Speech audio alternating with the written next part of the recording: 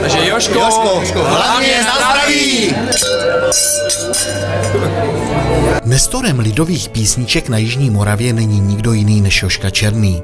Jeho zpěv rozezněl nejednu společenskou akci jak v České republice, tak i ve světě. A možná proto se rozhodli jeho kamarádi z Valtic uspořádat k jeho 80. narozeninám oslavu v kruhu těch nejbližších. Připravili jsme pro Jošu Černého takovou menší oslavu k jeho jubileu 80. narozeninám, takovou oslavu s kamarádama a pro jeho známé, pro jeho rodinu a pro jeho nejbližší taký večírek. Joška je Břeclavák, proč zrovna Valtice? Tak protože Joška samozřejmě eh, má vztah k Valticím a je to, my říkáme, moravský Karel Gott, takže samozřejmě my jsme všichni taky z Valtic. Co jste si pro Jošku připravili? Tak pro Jošku co si připravit? Já si myslím, že hlavně Valtice jsou hlavní město vína, jako by Jižní Moravy. Joška je taky velký milovník vína a my jsme chtěli v podstatě všichni tady jakoby, že s kamarádama. Joškovi jsme chtěli jakoby dát velkou poklonu tím, že pro tu Moravu strašně moc udělal a my jsme chtěli udělat něco málo pro toho Jošku. To, co děda dokázal samozřejmě, tak jsou na něho nesmírně pišný, protože to dokázal si myslím u nás málo kdo, jako kam to on dotáhl. Jo, jako, takže jsou na něho pišný každopádně. Jsme rádi, že konkrétně tady v tomto sklepě, protože tento sklep stavěl můj otec, který je vlastně ročník, 42, jak je pan Joška, a byli, což byli dlouholetí kamarádi a je nám ctí, že je to vůbec tady ve Valticích a, a tady ve sklepě. A děkujeme.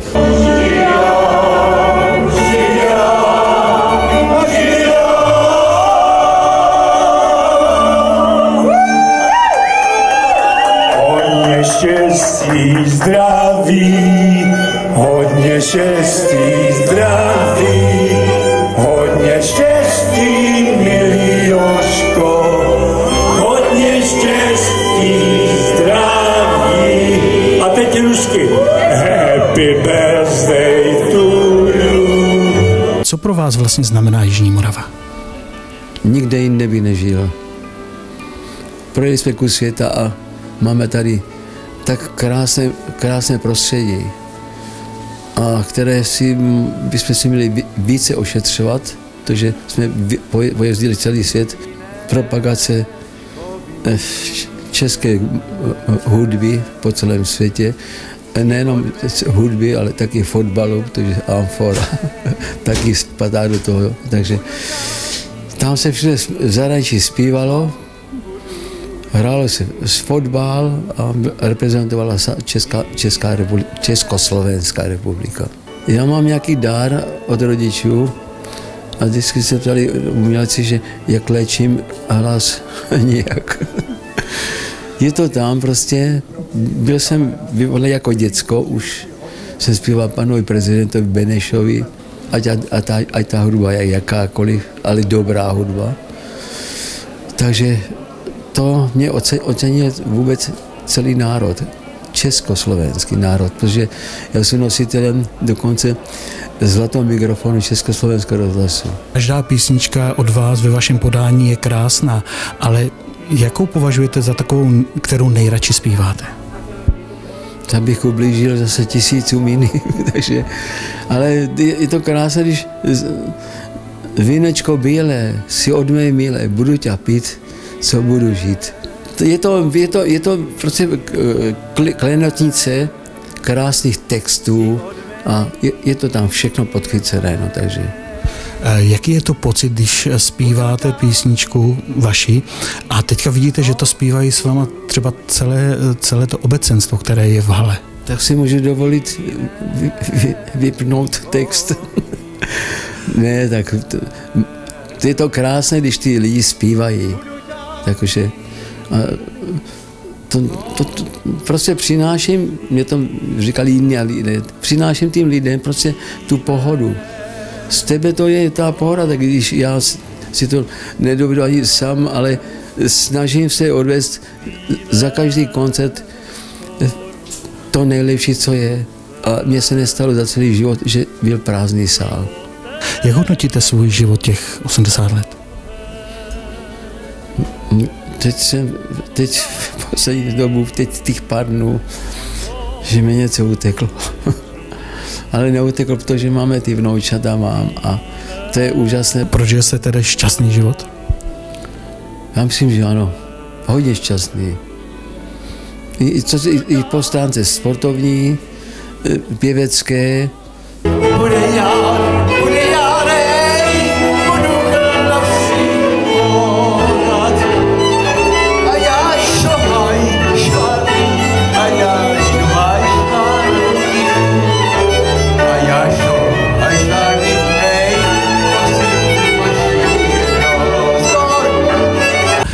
Jaké je to soužití s takovým člověkem, jako je Joška Černý? Ježiš, těžké, těžké, ale hezké, zajímavé.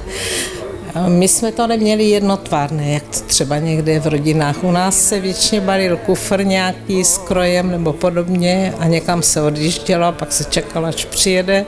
Takže to nebylo tak jednotvárné, bylo to takové prostě i veselé.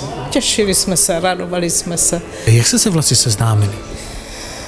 Nás seznámil jeho kamarád, který znal moji sestru a jeli za mojí sestrou a on jel s ním, už u nás předtím jednou byl s nějakou jinou slečnou, s tím kamarádem, ale mě si nevšímal, mě jenom slušně pozdravil, protože já jsem chovala svého synovce. On si myslel, že to je můj syneček, tak si mě nevšímal. A pak mu ten kamarád řekl, že má ještě sestru, ta moje sestra, tak se na mě jeli podívat. A já, jsem, já vím, že to bylo v neděli, v květnu, jsem šla z kostela zrovna a oni jako jeli za tou sestrou, neříká, to jsem se dozvěděla až pozdě, že, že si mě jel prohlídnout. No a tak to bylo vlastně naše seznámení a tam mě pozval do kina a naše druhé setkání bylo na Vranovské přehradě a při tom druhém setkání mě hned řekl, že si mě stejně vezme. A tak to dopadlo. Já jsem nechtěla, já jsem si říkala, že je to chlapec drzí a dost namyšlený. Když mi něco takového řekne, tak jsem už, už na té přehradě začala být strašně protivná. Ale nepomohlo to. Takže tak, tak a už jsme spolu 54 let. Teď už bych mu popřála se mnou hodně trpělivosti a taky sobě bych popřála hodně trpělivosti navzájem vůči sobě, aby jsme si byli takový, no hlavně, hlavně teda zdraví. To je, to ani není snad kliše nějakého, to, to je důležité, protože za peníze si zdraví nekoupíte a když je člověk zdravý, tak je zdravější i celá rodina.